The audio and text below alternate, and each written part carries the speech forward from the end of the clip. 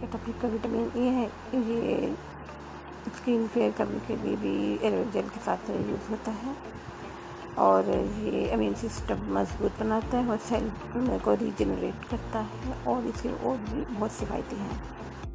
Skin fair करने के लिए विटामिन ई e को जेल में मिक्स करके आप लगा सकते हैं। इसके इसके अलावा आप इसमें वाइटनिंग कैप्सूल मिक्स करके हाथों पाँव के भी यूज़ कर सकते हैं।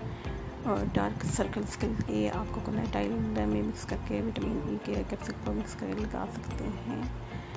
इसके अलावा इसके बालों की ग्रोथ के लिए आप मुख्तलिफ़ आयल अरंडी का आयल कोकोनट आयल बादाम का तेल और विटामिन ई मिक्स करके बालों पर लगा सकते हैं। और रिंकल्स के लिए आप बादाम के तेल में और कोकोनट तेल में मिक्स करके लगा सकते हैं, नीम के पत्तों और इसे एलोवेरा जेल को खा भी सकते हैं। इंटरनल एक्सटर्नल दोनों तरह के फ़ायदे हैं। ई बालों की ग्रोथ के लिए भी अच्छा है।